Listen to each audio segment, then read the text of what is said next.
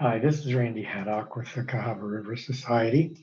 And today I wanted to share something with you about uh, something you might have noticed as you were uh, walking around in rivers. Uh, this little guy here is a little caddis fly, C A D D I S. Um, and it looks a lot like a moth. Uh, it's not a moth, but uh, the reason it's not, uh, in part, is that the larvae of these caddisflies are aquatic. They live underwater. Now, they are like moths and butterflies in the sense that they can make silk. In fact, they invented silk before the moths and the butterflies did. But uh, the uh, larvae use that silk to uh, make, for example, a little case around which they uh, form.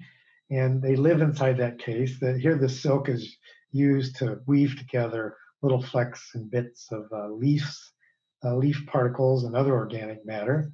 Here, a different species has used silk to lace together um, tiny grains of sand, but, but not all caddisflies make uh, cases. There are others like this one that make nets. And here we have a net that's uh, perched in the river weed on the bottom of the river. And uh, the you can see a big wide opening that faces upstream. And then uh, the larvae kind of has positions itself down here. Because what it's doing is uh, as food particles and other materials are washed downstream and wash into the mouth of the net the little larvae uses his uh, upper lip which has this nice flat scraper shaped thing there to uh, scrape food particles off the uh, side of the net. Now, uh, that works pretty well. The uh, here we go. Here's a little a video of how that plays out underwater. You can see the net there, and you see all these tiny little particles of organic matter, which could be bits of leaves or algae or other materials that could wash down.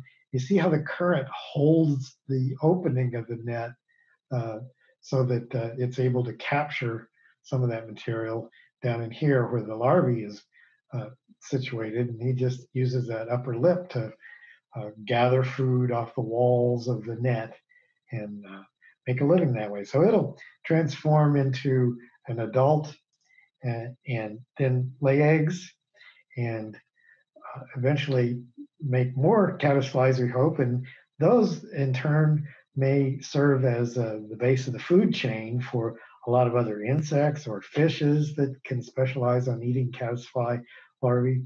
And uh, so they're real important to the base of the food chain and, and, the rest of the ecology of the river. Well, thanks. I hope you enjoyed a little insight into some of the little critters that live in the river. We'll see you next time.